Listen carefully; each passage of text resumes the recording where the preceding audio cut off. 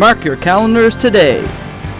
No matter where you live on June 4th and 5th, you can join us for the 2011 Janeway Children's Miracle Network Telethon, broadcasting on CBC television and live streaming on cbc.ca/nl.